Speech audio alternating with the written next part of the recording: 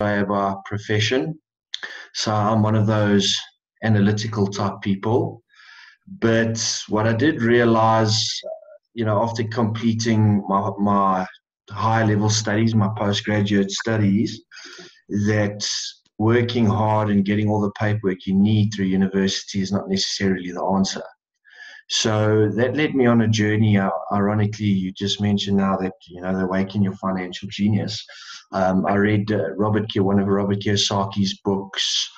It was November 2012, just after I finished my master's degree, and that that kind of opened up a whole new world for me in terms of how people make money in the business and investor side of things the thing that always confused me is how do you how do you start your own business with with relatively low capital or alternatively become an investor but start small so I went and I started my own business and I've got a consulting business and I've got a few other business concerns. But what, what intrigued me about cryptos is it, it kind of leveled the playing field.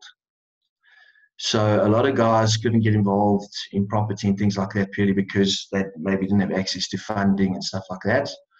But cryptos did level the playing field in that the average Joe in the street could get involved. So that's that's pretty much what intrigued me about cryptos to start, and we'll get into the, the detail a little bit more later. Um, but yeah, that's that's how I started my journey, and you know what got me interested in cryptocurrencies.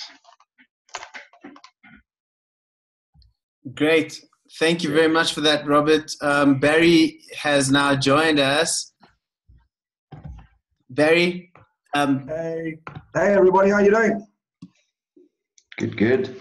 All good, yeah. So, um, so welcome to this evening's call, and um, I can see that Marlon has already introduced uh, our guest for this evening, Rob. So, Rob, welcome to welcome to this uh, to this webinar. Great, uh, great to to have you on it.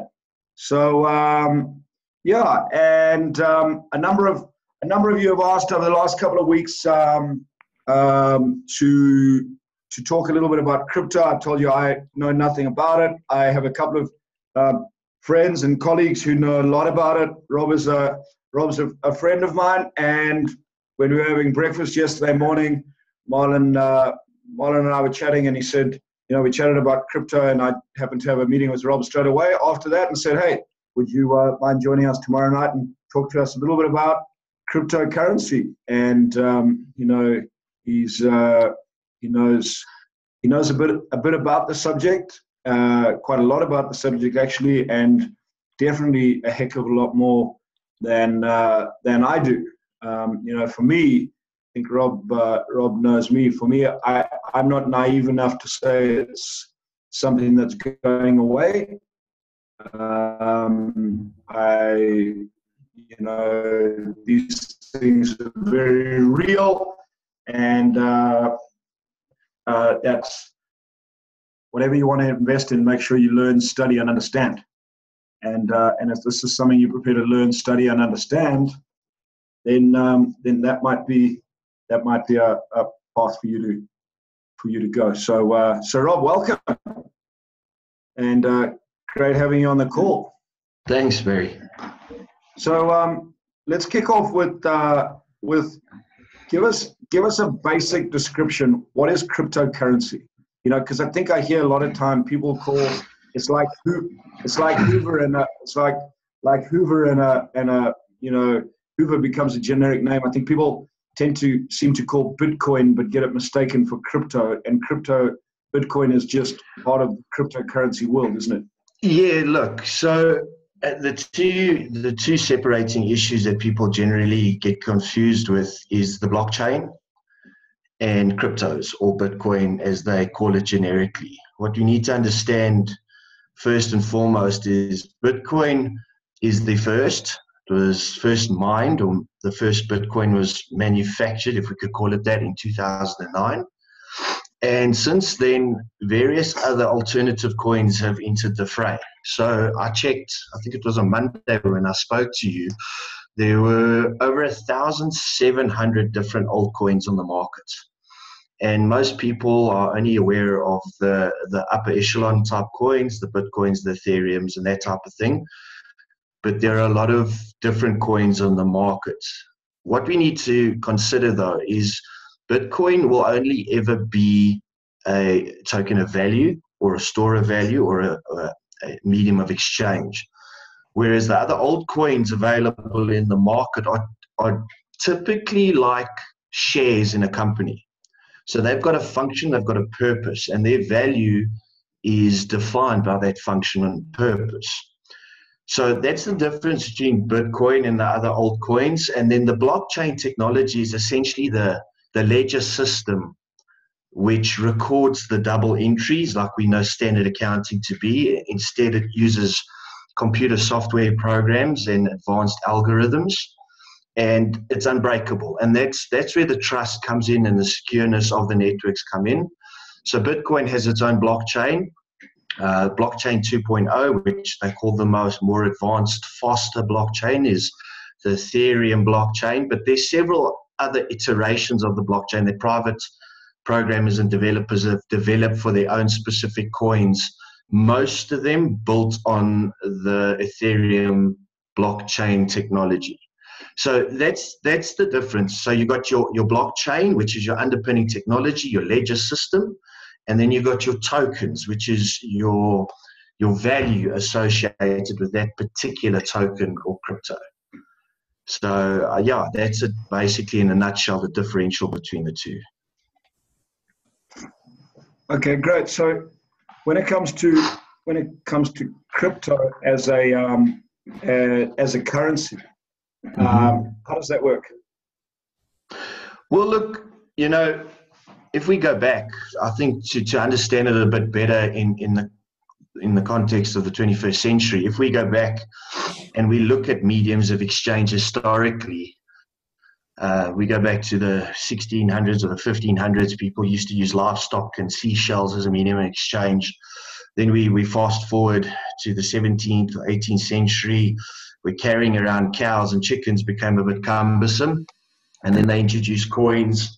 Uh, then the Medicis in Florence introduced the IOU or the credit system as we know it. In the modern world, we come with notes, and then plastic was introduced in the States in the 50s. Now, back in the early days, if if I determined that one cow was worth 10 chickens, that, that pretty much happened as a system of supply and demand. Um, so Bitcoin primarily operates on the same basis, although there's a lot of um, talk in the media these days that big money is manipulating prices. But inherently, it's the purest form of, of supply and demand, and it's people's money. So it's based on pretty much um, how, how many people are buying Bitcoin, how many people are exchanging their fiat currency for cryptos on any given day, which affects the price. And in terms of of using it or monetizing it in in in the you know in the modern world, a lot of companies have come on board. A lot of third party uh, Visa, Mastercard service type providers where you can actually order cards backed by your cryptos. Some shopping sites accept accept cryptos, specifically Bitcoin, directly for payment. I know some of the bigger companies uh, like Lamborghini and stuff like that. They also accept payment in Bitcoin directly. So it's a medium of exchange. Um, it's people's money. It's it's web-based money, and the value is pretty much determined by supply and demand. If we take the conspiracy theories out of the equation, and the more and more people are using it and getting to know what it's about, the, the more people are transacting it with, with the coin itself. So that's pretty much it summarized how, how people use it in the 21st century. Okay, cool. So, I, I mean, this is a this is a very this is a very new technology. I mean, Bitcoin is a decade old, if I'm right. Yeah, 2009. So yeah, next year it'll be two uh, decade. Yeah. And so, so it's a very it's a very new concept, and it's really it's really starting to morph and mold itself into where it's going. So, one of the concerns from people is what are the chances of it being regulated by governments? Look, um, from a government perspective, I, I believe they have to regulate it. And I say that because I think they know it's going nowhere. And at the end of the day, they have to get their cut out of it somehow. But regulation isn't necessarily a bad thing.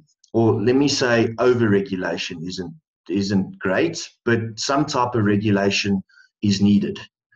Um, the nice thing about regulation is when these these these rules come into play, people, the average Joe on the street that's that's been undecided as to the future of these cryptos, is going to start to listen a little bit more because they're going to think to themselves, okay, well, if the governments are spending this much time and effort to regulate these cryptos, they potentially know something I do not know. So what I believe will happen in that instance is the demand for the coin, and and when I say coin, it can be any coin that you're interested in, and the regulations around that particular coin. Um, I believe the demand for the coin will go up, and and it'll benefit the price. So regulation isn't bad. A, a lot of guys are worried about regulation. I've had a lot of guys moaning about it to me. But the thing is this, and I mentioned it to you yesterday, I'd rather have 60 or 70 percent of a, a, Bitcoin that's valued at 300, 400,000 dollars than 100 percent of a Bitcoin that stays at 8,000 dollars. So it's it's all about context and how you look at it. But I do believe some type of regulation is good and is also needed to some degree. Okay, good, good. So Dirk asked the question. He says, from his limited knowledge, it seems that XRP or Ripple is the only alt currency based on an actual financial system. Is this correct? Uh, let me just then I would assume it would be better long term play. Look, there is a lot of uh, um, talks in the industry that Ripple is back, backed by the big banks. Um, I don't. The only thing for me with Ripple is it's not mineable. Okay. So when I say mineable, you don't need a network of people around the world manufacturing this coin. Whoever developed Ripple created X amount of Ripple, and that's what they say is available. I don't, I haven't read their white paper or anything along those lines, but Ripple could be a good short term play, not necessarily a long term play, because there might be some big institutional money going into it in the short term, as with Bitcoin. Um, but Ripple is said to be backed by some some big entities. I don't know what the truth is behind that. I haven't really investigated that much. Um, I do have a, a, small interest in Ripple, nothing substantial, but it will be interesting to see how Ripple plays out as a unminable altcoin. So, so can you explain to us when you talk about mining, what do yes. you mean? Okay, so to put this as as plainly as I, I, potentially can, we all know the story of the the nursery story of the kid story of the goose and the golden egg. Okay, so I, always ask people if you had the money, would you buy the goose or would you buy 10 golden eggs? And 95% of people always say to me, the goose. And I ask them why. They said, because it's going to keep on laying those golden eggs. So there's three ways to get involved in the crypto space. And I'll get back to the goose and golden egg now.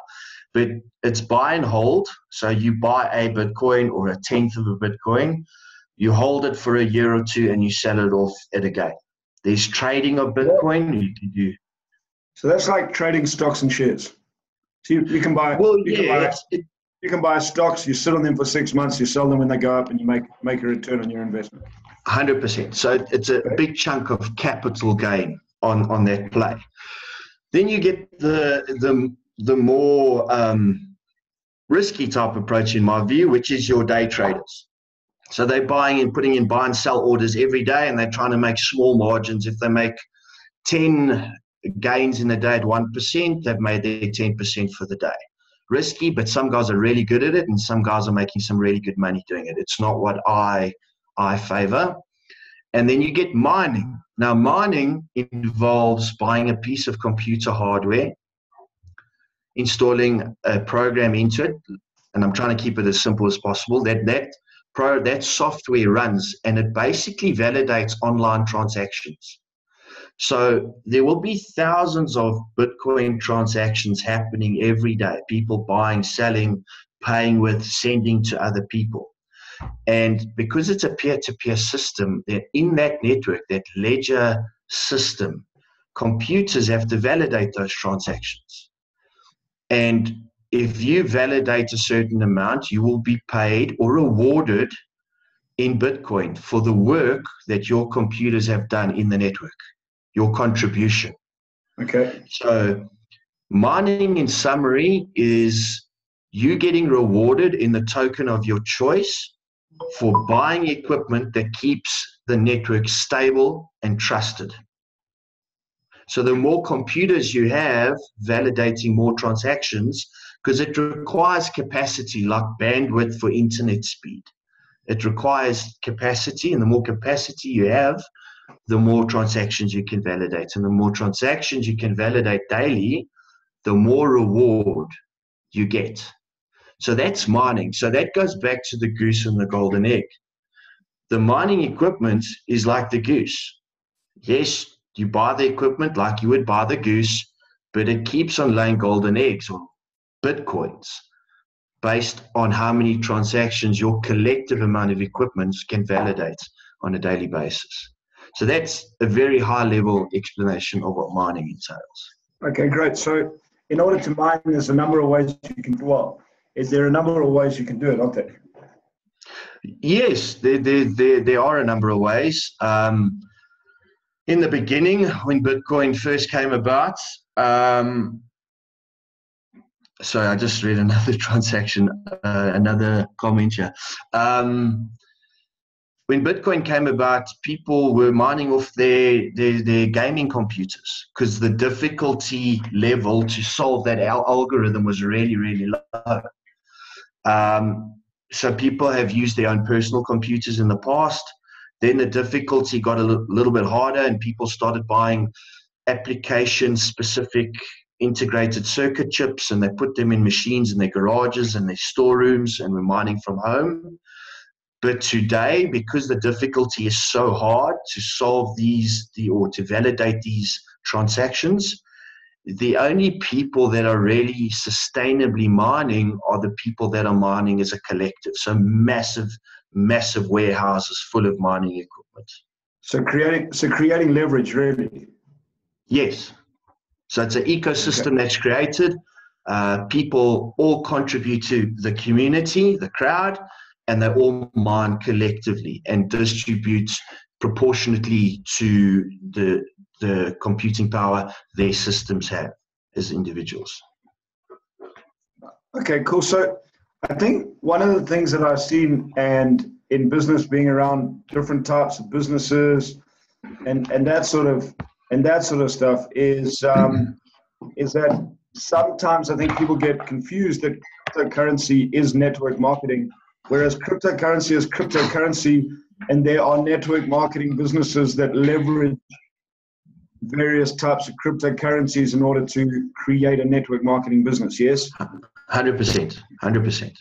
So it's the okay. same. It's the same adage as you go into Dis-Chem and there's there's product on the shelves that are not part of a network marketing company, but then there's other network marketing companies that focus on similar product to build their organization.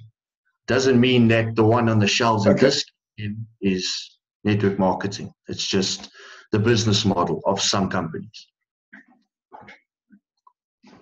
Okay, brilliant. Okay, good. So, um, okay, so Dirk asked a question: Do you perhaps know the ratio of transactions validated versus the reward received?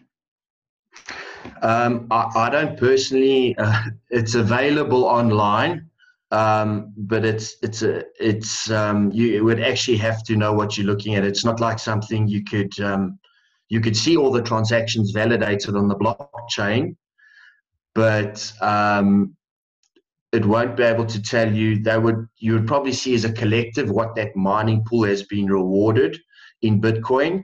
But I can tell you over the last month or two, um, the mining difficulty has gone up substantially. So basically, in a nutshell, if you take all the computers mining Bitcoin around the world, and all those computers collectively validate 2016 transactions in less than two weeks, they increase the difficulty. If they take longer than two weeks to validate 2016 transactions, they decrease the difficulty. And the reason that difficulty is in play is because the way Satoshi wrote the program is the last Bitcoin will be mined in the year 2140. So call it 122 years from now. And in order to maintain that date, he has to ensure that there's not too many Bitcoin being released every two weeks as rewards. There has to be a, a predetermined release of these coins over the next 120 years to make sure that that timeline is kept. So I don't I don't personally have all the rewards of all the mining pools and stuff, but I can I can tell you it fluctuates. Last year, my mining equipment did very very well, but over the last three four months, it's taken a serious dive, and that's a combination of two things. The Bitcoin price hasn't climbed quite quickly. In, in, in this first just past first half of the year and the difficulty has increased substantially. So if your difficulty goes up and your price stays stagnant, even though you're getting rewarded pieces of a Bitcoin, your price of that coin is not going up. So it it's not generating as greater rewards as it potentially did last year when the difficulty was low, but the value of the coin was fifteen thousand dollars per coin. So back to your question, Dirk, there's ways to find that information but it changes so rapidly. You you know you can have a look at the graphs on CryptoCompare and stuff like that, and get a feel for things like that. You can even Google mining difficulty, and you can find the tables how the difficulties increased and decreased over the, the last nine years. But I don't look at that. I really don't. I, it's it's a full time job just doing those analytics. But if that's your thing, if you, I know some guys enjoy doing that, then by all means you can find those answers. Cool. Thanks, Rob. So, Rob, when it comes to mining, mining has fixed overheads or it has variable overheads like any business. Yes.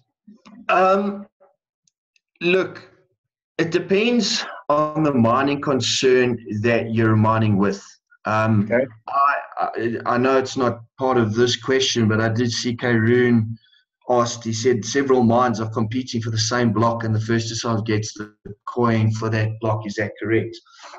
And what he's saying there is is true. So if you've got more hashing power, you're going to win that block. It's like water; it's the path of least resistance. But the reason I refer to that is some mining concerns do that up front. So they don't calculate in terms of longevity of the business model. Or do they still want to be in the game 20, 30, 40, 50 years from now? They look at it, well, how can we get into this industry, get as much hashing power as possible, and just rip into it for two, three years, get as much gain out, but after two, three years, they can't compete anymore because they haven't done the sustainability calcs. Then they start finding out that the cost of running that warehouse is starting to far exceed their reward. So some mines have fixed rewards, some mines have monthly, um, sorry, fixed charges, monthly charges. Some mines charge you up front for the maintenance and stuff like that. So it does differ from from entity to entity, but it should have varying, like you said, Barry. I mean, if you got 10 machines one month and all of a sudden your your operation expands to 30 machines that month, you're going to have a massive spike in electricity yeah. and maintenance cost. So that's logical, yes, hundred percent. So you're so so that I, I think and and I don't think it's just me, but I think when I first started looking at this, the perception was is is that you sort of run a computer and these sort of uh, these uh, cryptos just sort of arrive because you start mining them. But then the more I learned about this, I realized that you it, you set up real hardware concerns. There, there is all the same financial uh, constraints. There's like any business, there's depreciation, depreciation. There's a whole lot yes. that goes with it. Replacing computers, upgrading computers, doing all that sort of stuff.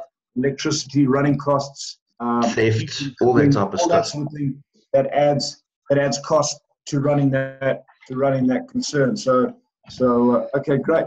So Dirk's other question is, if he gets top developers, can he develop and calculate the uh, algorithm quicker, or does everyone use the same? It's all the same. It's all the same algorithm. So the separator is your your your your hashing power. So how many machines do you have? So anyone can download that uh, algorithm off the web, as what the guys did in the beginning. They downloaded it off the web. They used their gaming computers and they started running it. But what they realized, their processing speed couldn't keep up. So it's just about your hashing power that sets the mining so, concerns apart. So Rob, it's like um, it's like it's like mining for diamonds in the big hole when uh, when they all went to Kimberley. The guys with the most the, the the pipe was in the same place. They all all had access to the same pipe, but the guys that had had more that had more staff, more miners, more explosives, and uh, and more money behind them it, we're able to benefit from the process a lot quicker than anybody else. Yeah, it's exactly that story. I mean, in the in the in the early days, you could work that walk down the streets in central Joburg and pick up little gold nuggets.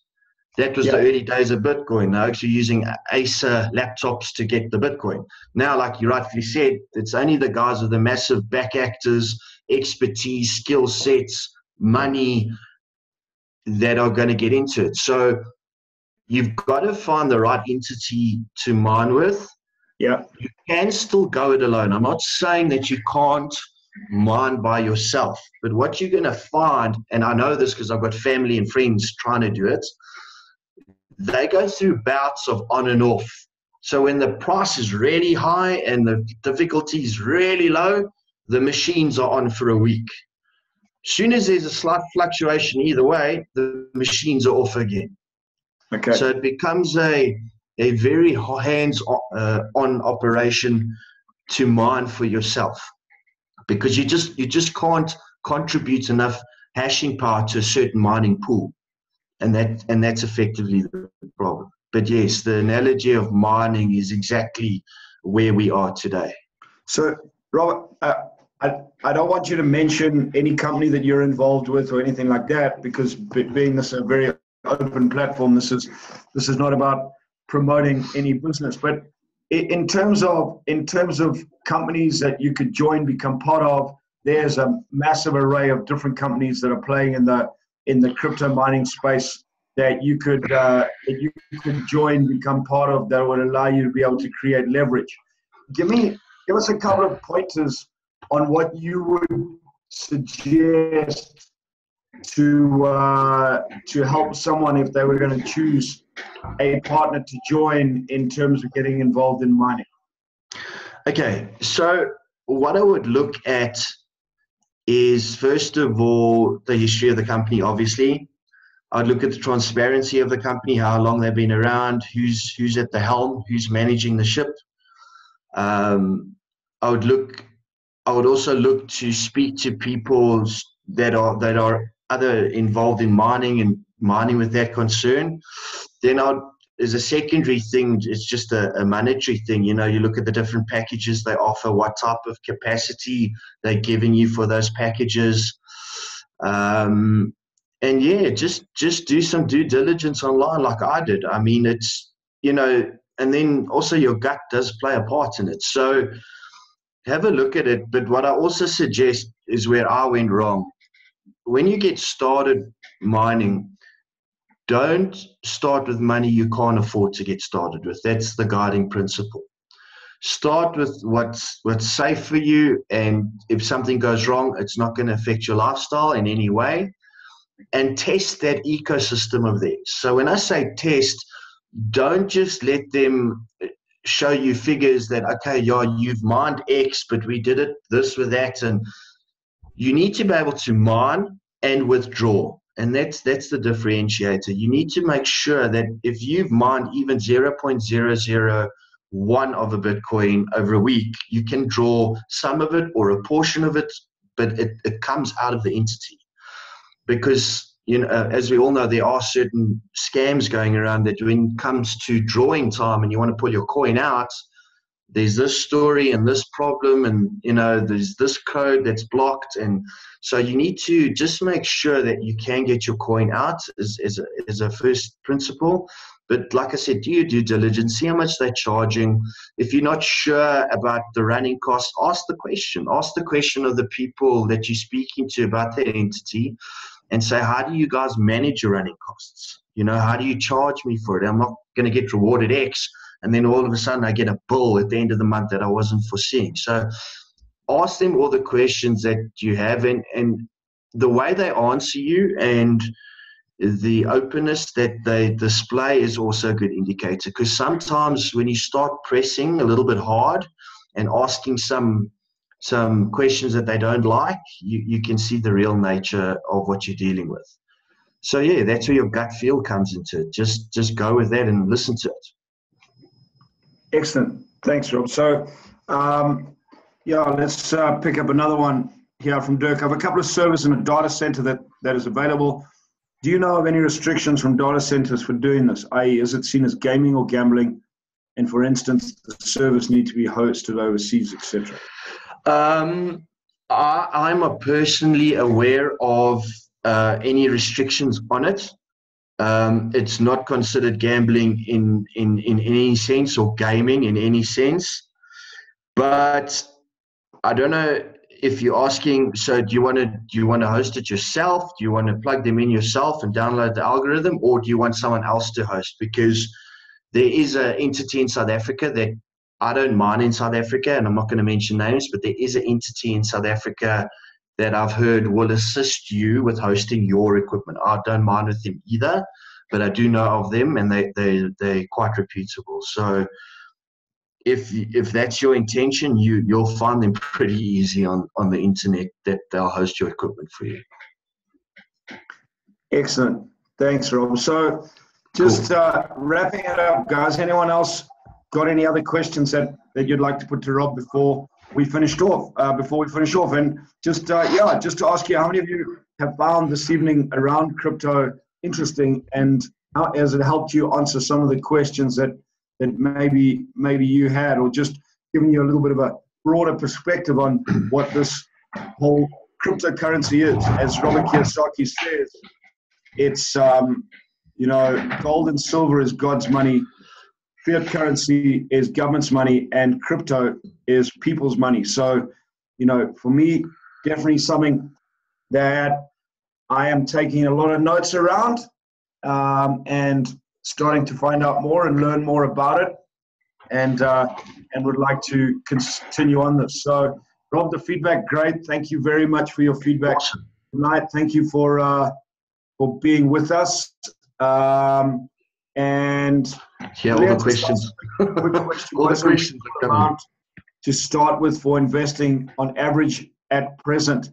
I I think I'm going to actually answer that it depends on how much money you have available. Like any investment, Dillian, it, you know, there's certain costs for getting involved, but it, in, in order to buy a cryptocurrency, um, you can start, Rob, at very, very low amounts, yes? Yeah. Um, some mining concerns, obviously, uh, you know, have to be respectful of the forum we're on, but some mining concerns start as low as a little as uh, a couple of hundred bucks. Okay, good. And and I mean, just to go in and buy a crypto, for example, you can you can invest a couple of hundred bucks to get started. Or you, uh, can, you can start with fifty bucks. You 50 can buy bucks. fifty rands yeah. worth of Bitcoin, yeah, on Luno. So you know, it, it's there's an opportunity to to again, it comes down to how much do you want to invest? What is it that you want to invest? And uh, and how much are you prepared to to how much do you want to make and how much are you prepared to lose if if, and how it doesn't it doesn't work but again, I'll come down to the same thing as Robert says. What are you prepared to study? Uh, what are you prepared to study? What are you prepared to understand? Who are you prepared to surround yourself with in order to be able to get that? And if I can just add there, Barry, um, when I got started my crypto journey, I got taken for quite a bit of money. Um, but the school fees I paid in that experience has made me more money over this last two and a half years than I ever lost on the outset. So I'm not saying that you need to go big into crypto, but what I am saying is sometimes the journey does involve, I mean, I'm not saying 100,000 Rand or 200,000 Rand, but 500 odd Rand, open a trading account, open a Luno account or whatever altcoin trader and see how these platforms work, how you buy and sell Bitcoin, um, these are generic trading accounts, guys. They're not any mining concern. So you can still learn how to deal with Bitcoin and understand how it works. So at least one day you can say, I learned. I decided to learn and I decided to see what's going on. That's the only way I learned. When I started with, with Bitcoin, Bitcoin mining, trading, literally the only thing I knew about Bitcoin was how to spell it. But by being involved over the last two and a half years, I've, I've learned a great deal. I've, I've made a lot of mistakes. I've lost quite a bit of money. I've made a bit of money. Um, but it's been good because the world is going that way. And you can only take advantage of opportunity if you're prepared. And the best time to start learning was yesterday, but if that didn't happen, it's tomorrow. Yeah, I, I think you, you make an interesting point there, Rob. So the question is, when should I have started my business? I've been in corporate for 12 years. Well, maybe 12 years ago. The reality is, it, you start when you're ready to start, and you start when you've educated yourself in order to uh, in in order to get in order to get going. Hundred percent. Um, okay, cool. So just a question um, from Dirk. Mm-hmm. You know, Rob, Rob, maybe um, maybe one or two resources, maybe a website or two that you could, uh, um, you could give to people so they could go and learn more about crypto. Okay, let me just write here. I'm going to write two to start with. Um,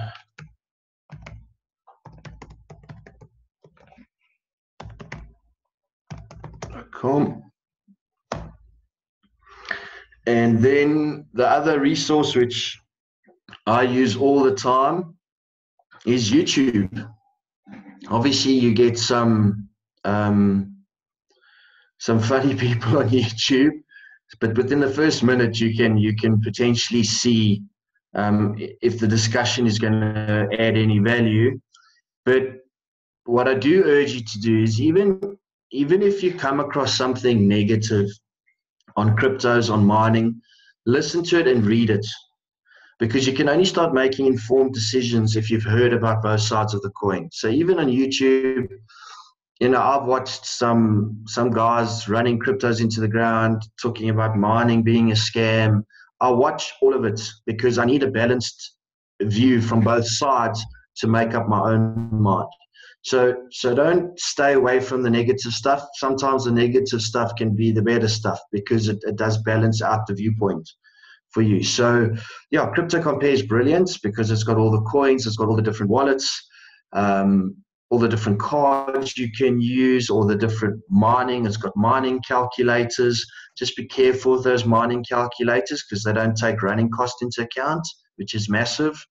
And then coin market cap, you can find any statistic you want on any coin from inception. So those are the two that I would start with. Um, but if there's anything specific, just literally Google has everything. That's you know um, that's how I learned most of the stuff, in YouTube as well. It's, it's a very good resource. Excellent, Rob. Thank you very much. So, no um, I don't know about you guys, but uh, for me, that was a lot of value great having uh, great having Rob on, um, and uh, yeah, really uh, really great share, Rob. So thank you so much for joining us this evening, bud, and uh, and thank you for your insight. So Thanks, you guys get a lot of value out of out of learning learning more about um, learning learning more about crypto. So uh, what I'm going to tell you is, Robin, Robin and I have a colleague who has built a highly, highly successful cryptocurrency business. She's uh, she's one of our trainers. I think Rob knows who I'm talking about. Um, and uh, and in two weeks' time, she's going to come on this call with me, and she's going to talk about what it takes to build a highly successful crypto business. Um, would you say she's a great person to be able to speak about that, Rob? Yeah, hundred um, percent. I think she's proof of what what can be achieved um, using cryptos as a disruptive technology and marrying it with business.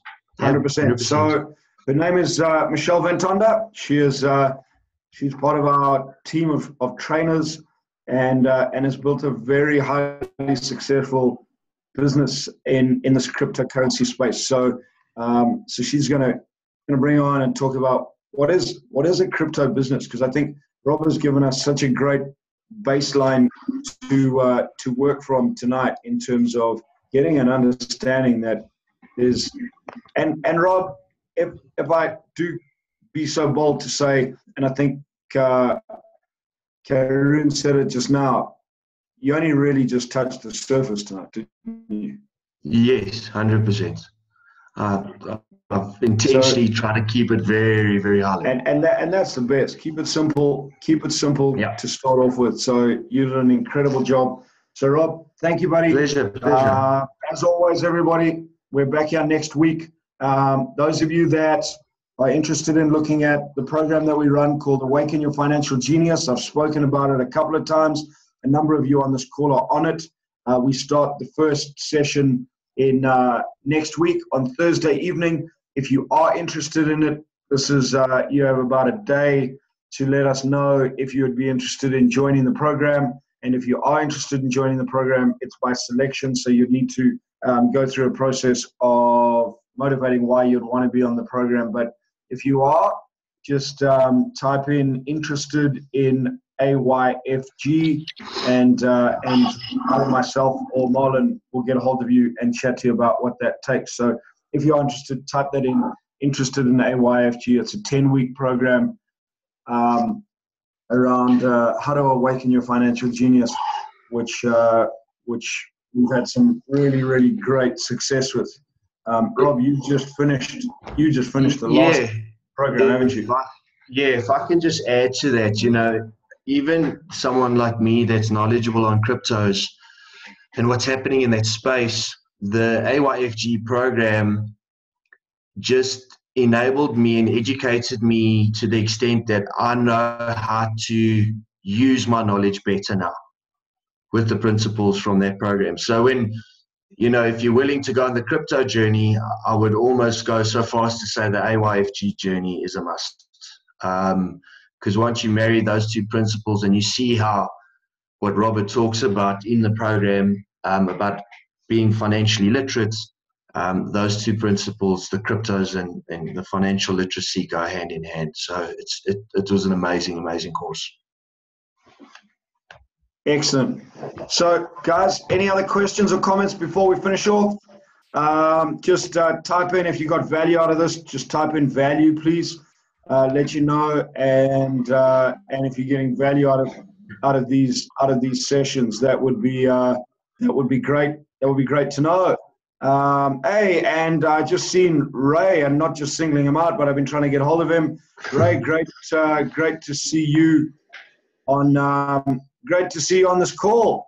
So uh, I know that you are doing Awaken Your Financial Genius. So it's a good to uh, good to have you have you on. Um, so Rob, again, thank you very much. Marlon, pleasure, pleasure. over to you, buddy. Uh, guys, great. Um, Great having you. Um, great having you on tonight. Have a great, great evening. I'm going to hand you back to Marlon. Thanks, Barry. Thank you, Rob. Real great insight. And I'm um, looking forward to, to chatting to you more about this and learning more from you, I'm sure. And I'm especially looking forward to hearing um, from, from Michelle in two weeks' time. So, yeah, um, everybody, you'll find this. I know, um, I think it was Kim that that came in a bit late and didn't catch sort of everything. So the the the recording of this will be up as of tomorrow, and you'll be getting emails. So please look out for that. Other than that, we'll be we we kind of changed the the format. Hey Barry, so like uh, just to inform everyone now, so we we will be splitting up the the the sales and the financial webinars with instead of it being both on the same night we're going to rather split them up. So we're going so next week we'll kick off with with sales and then the week after that will be um, michelle with uh, with the finance section. So look out in your emails because we will be updating you there. Um, other than that have a good evening. See you around maybe at a cash flow evening that we will do soon or uh, the previews have a good evening Thanks, everybody. Thank. Thanks, Bye. Rob, again. Thanks, Marlon. Well hosted. Chat to you guys soon. cheers thank you very bye